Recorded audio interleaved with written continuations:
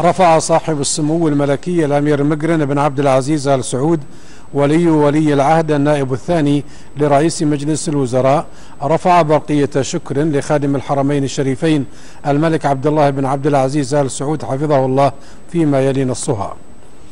سيدي خادم الحرمين الشريفين الملك عبد الله بن عبد العزيز آل سعود حفظه الله ورعاه.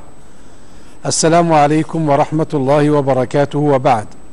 يسعدني ويشرفني بمناسبة صدور أمركم الكريم حفظكم الله والقاضي باختياري وليا لولي العهد. أن أرفع لمقامكم الكريم أسمى آيات الشكر وعظيم الامتنان على ما أوليتموني إياه من ثقة كبيرة. سائلا المولى جلت قدرته أن أكون عند حسن ظن مقامكم الكريم وأن يعينني على حمل هذه الأمانة ويوفقني لخدمة ديني ثم مليكي ووطني مستمدا العون ومستلهما التوفيق من المولى عز وجل. ثم ما أحظى به من توجيهات سديدة من لدن مقامكم الكريم. رعاكم الله. والسلام عليكم ورحمة الله وبركاته. الخادم مقرن بن عبد العزيز. كما رفع صاحب السمو الملكي الأمير مقرن بن عبد العزيز سعود ولي ولي العهد النائب الثاني لرئيس مجلس الوزراء برقية شكر لصاحب السمو الملكي الأمير سلمان بن عبد العزيز سعود ولي العهد نائب رئيس مجلس الوزراء وزير الدفاع حفظه الله فيما يلي نصها. سيدي صاحب السمو الملكي الأمير سلمان بن عبد العزيز سعود ولي العهد نائب رئيس مجلس الوزراء. وزير الدفاع حفظه الله ورعاه. السلام عليكم ورحمة الله وبركاته. وبعد. يسعدني ويشرفني بمناسبة صدور أمر سيدي خادم الحرمين الشريفين الملك عبد الله بن عبد العزيز سعود حفظه الله القاضي باختيار وليا لولي العهد. أن أرفع لسموكم الكريم حفظكم الله بالغ شكري وتقديري على هذه الثقة الغالية. متمنيا أن أكون عند حسن ظن سيدي خادم الحرمين الشريفين وسموكم الكريم حفظكم الله. وأن يوفقني لخدمة ديني ثم مليكي ووطني. والسلام عليكم ورحمة الله وبركاته. الخادم مقرن بن عبد العزيز. صدر اليوم بيان من الديوان الملكي فيما يلي نصه. بيان من الديوان الملكي. بناء على الأمر الملكي الكريم رقم ألف تقسيم 86 وتاريخ 26 5 1435 للهجرة. القاضي باختيار صاحب السمو الملكي الأمير مقرن بن عبد العزيز آل سعود وليا لولي العهد فقد صدر توجيه خادم الحرمين الشريفين الملك عبد الله بن عبد العزيز آل سعود أيده الله. بأن يتلقى سموه البيعة في قصر الحكم بالرياض يومي الأحد والاثنين التاسع والعشرين والثلاثين من شهر جماد الأولى 1435 للهجرة بعد صلاة الظهر بمشيئة الله تعالى. هذا وقد تقلد سمو الأمير مقرن بن عبد العزيز سعود العديد من المناصب في مختلف المجالات العسكرية والإدارية المحلية والسياسية. يعد الأمير مقرن بن عبد العزيز آل سعود الابن الخامس والثلاثين من أبناء الملك المؤسس عبد العزيز بن عبد الرحمن آل سعود. وقد ولد الأمير مقرن في مدينة الرياض عام 1945 ونشأ في كنف والده محبا للعلم والشجاعة والفروسية. وشارك سموه في خدمة البلاد في مختلف المجالات العسكرية والإدارية والسياسية والاقتصادية. فقد عمل في بداية حياته العملية طيارا مقاتلا ضمن القوات الجوية الملكية السعودية وتولى إمارة منطقتي حائل والمدينة المنورة. ليشارك في عمليات التنمية في المنطقتين قرابة عشرين عاما ليجري بعد ذلك اختياره لاحقا رئيسا للاستخبارات العامة ثم مستشارا ومبعوثا خاصا لخادم الحرمين الشريفين فنائبا ثانيا لرئيس مجلس الوزراء وهذا المنصب يضعه ليكون الرجل الثالث في الدولة بعد الملك وولي العهد. وقد تلقى تعليمه في معهد العاصمة النموذجي بالرياض والتحق بالقوات الجوية السعودية عام 1964 ودرس في بريطانيا ليتخرج منها في عام 1968 برتبة ملازم طيار. وتدرج الأمير مقرن بن عبد العزيز في القوات الجوية الملكية السعودية حتى جرى تعيينه في عام 1977 مساعدا لمدير العمليات الجوية ورئيسا لقسم الخطط والعمليات في القوات الجوية.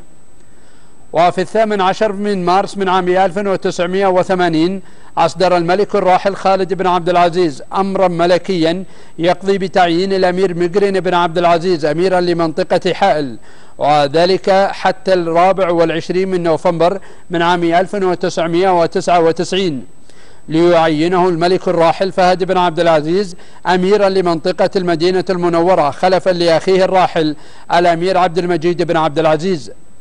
وظل حتى الثاني والعشرين من أكتوبر من عام 2005 ليصدر الملك عبد الله بن عبد العزيز أمرا ملكيا يقضي بتعيينه رئيسا للاستخبارات العامة حتى التاسع عشر من يوليو من عام 2012 وفي الأول من فبراير من عام 2013 أصدر خادم الحرمين الشريفين أمرا ملكيا بتعيينه نائبا ثانيا لرئيس مجلس الوزراء.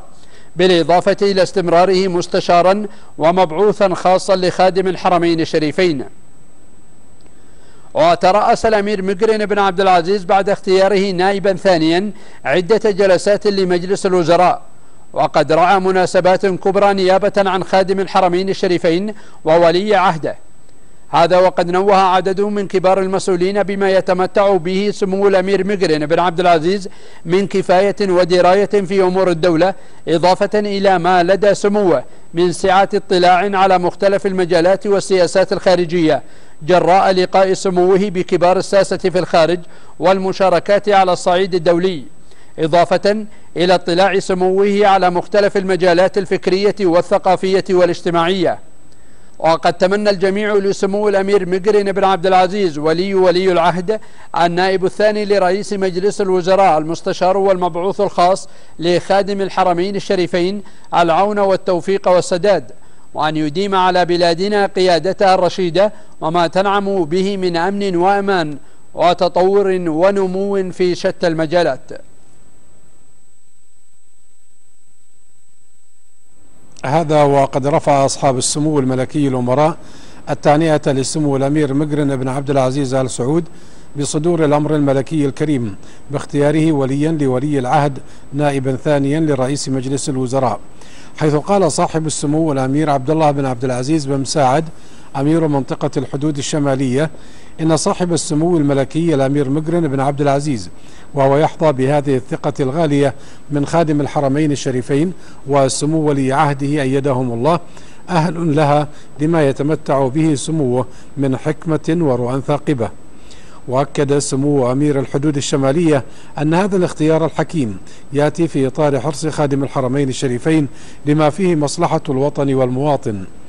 كما رفع صاحب السمو الملكي الأمير محمد بن ناصر بن عبد العزيز أمير منطقة جازان التانية لصاحب السمو الملكي الأمير مقرن بن عبد العزيز آل سعود. وقال سموه إن الأمر الملكي الكريم يأتي تجسيدا للرؤية الثاقبة لخادم الحرمين الشريفين وسمو ولي عهد الأمين حفظهم الله في قيادة بلادنا المباركة بحكمة وبعد نظر واستشراف للمستقبل بما يحقق الأمن والاستقرار لأرض الحرمين الشريفين ومواطنيها بإذن الله تعالى. ووصف سموه شخص الأمير مقرن بن عبد العزيز بأنه رجل الدولة الحصيف والمتمكن والسياسي البارع فضلا عن خبراته الإدارية والقيادية التي تؤهله بإذن الله تعالى لأداء المهام الموكلة إليه. كما رفع صاحب السمو الملكي الأمير متعب بن عبد الله بن عبد العزيز وزير الحرس الوطني أخلص التهاني وأصدق التبريكات لصاحب السمو الملكي الأمير مقرن بن عبد العزيز آل سعود بمناسبة صدور الأمر الملكي الكريم باختياره وليا لولي العهد. وقال سموه بهذه المناسبة يسرني بمناسبة صدور الأمر الملكي الكريم بتعيين سموكم وليا لولي العهد نائبا ثانيا لرئيس مجلس الوزراء أن أتقدم لسموكم الكريم بأسمى باسمي واسم جميع أبنائكم رجال الحرس الوطني من مدنيين وعسكريين بأخلص التهاني وأصدق التبريكات على هذه الثقة الغالية. مجددين العهد بالولاء والطاعة لخادم الحرمين الشريفين الملك عبد الله بن عبد العزيز آل سعود ولصاحب السمو الملكي الأمير سلمان بن عبد العزيز آل سعود ولي العهد الأمين ولسموكم الكريم يحفظكم الله. داعين الله عز وجل أن يمدكم بعونه وتوفيقه وأن يسدد على طريق الخير خطاكم. ورفع صاحب السمو الملكي الأمير فيصل بن خالد بن عبد العزيز أمير منطقة عسير باسمه واسم أهالي المنطقة التهنئة لخادم الحرمين الشريفين بمناسبة صدور الأمر الملكي بتعيين صاحب السمو الملكي الأمير مقرن بن عبد العزيز آل سعود وليا لولي العهد نائبا ثانيا لرئيس مجلس الوزراء. وقال سموه بهذه المناسبة بلا شك أن القيادة الرشيدة لاتخاذها هذه الخطوة جسدت الحكمة وبعد النظر الذي هو ديدن هذه القيادة وخادم الحرمين الشريفين في هذا الاختيار يؤكد أن هذه البلاد تحظى برجالها الذين وضعوا أمنها واستقرارها نصب أعينهم وبهذه المناسبة أهنئ خادم الحرمين الشريفين الملك عبد الله بن عبد العزيز آل سعود وصاحب السمو الملكي الأمير سلمان بن عبد العزيز آل سعود ولي العهد نائب رئيس مجلس الوزراء وزير الدفاع. وتابع سموه نبارك هذه الثقة الكريمة لصاحب السمو الملكي الأمير مقرن بن عبد العزيز آل سعود ولي ولي ولي العهد النائب الثاني لرئيس مجلس الوزراء. من جانبه أكد صاحب السمو الملكي الأمير فيصل بن عبد المجيد بن عبد العزيز أن صدور الأمر أن صدور الأمر الملكي الكريم باختيار صاحب السمو الملكي الأمير مقرن بن عبد العزيز آل سعود وليا لولي العهد نائبا ثانيا لرئيس مجلس الوزراء اختيار موفق يأتي في وقت تحتاجه المملكة لتعزيز وزيادة اللحمة الوطنية. ومضي القيادة في سفينة الأمان بإذن الله مبينا أن هذا القرار الحكيم جاء ليقطع الطريق على المتربصين بهذه اللحمة الوطنية وليؤكد أن بيتنا واحد وشعبنا هم السند بعد الله لاستقرار هذا البلد وأمنه. وأضاف السمو أن سمو الأمير مقرن بن عبد العزيز شخصية قيادية أسهم بفكره وعطائه لخدمة وطنه منذ نعومة أظفاره بعد بنائه على يد المؤسس الملك عبد العزيز بن عبد الرحمن آل سعود رحمه الله.